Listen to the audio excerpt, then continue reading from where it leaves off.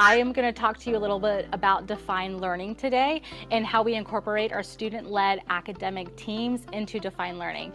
So Define Learning is all about giving students access to careers, awareness to careers, and be able to work collaboratively in their student-led teams. So a few jobs you'll see today a reporter, facilitator, recorder, and our timekeeper.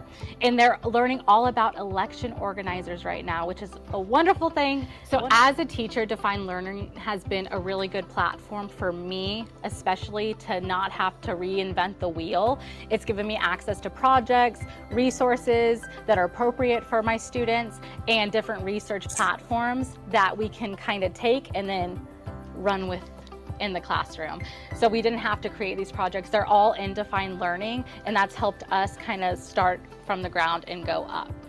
As a teacher, it's also a really good way for me to be able to incorporate technology, typing, answering real world questions, real world careers into the classroom and that's been really helpful. Define Learning is all about collaboration, not really, we do want them to gain knowledge, but it's all about working together and problem solving and not there's not one answer to anything or any of these tasks or projects. So it's really about participation, working together, being a good team player, making sure we're following directions, and making sure that we're listening to our friends. Define Learning has basically four stages that you go through. The first stage, which is what we're in, is called setting the stage, and that sets them up with all of the background knowledge they're gonna need. They'll also do a stage where they research their career, and then at the end, they do a creation and product design, which is really the end product or the end grade of the whole thing. They're gonna show us what they made based off what they learned. And Define Learning is really great about giving them choices of what product or creation they want to make. My students have done tremendous work with their student-led academic teams combined with this project-based learning and Define Learning. They are able to deal with conflict work as a team in that they are giving each other tasks so that they're able to actually have something that they're responsible for in the team. And they also know that this is going well beyond just Miss News Classroom. They're going to be using it in middle school, they're going to be using it with sports and in high school, and they've just got the buy-in from me and from their teammates so they can get the job done. And they, they're doing a tremendous job working together. And as we all know, that is a lifelong skill skill.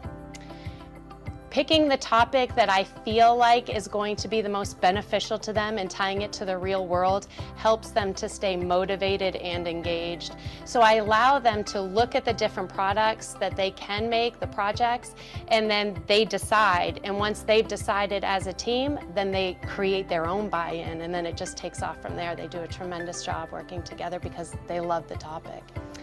Thank goodness for the agree disagree cards that go along with the student-led academic team model because that's what they use for conflict. When I start to hear them going off of the card, I walk around and I'm constantly monitoring for those sentence stems that they're supposed to be using. I disagree, however, or I agree with you, let's take it further. Those types of things just help ease the conflict and give everybody a voice. So conflict has really what I thought would be tremendous because I picked the teams has actually worked out lovely because they're being respectful using those cards.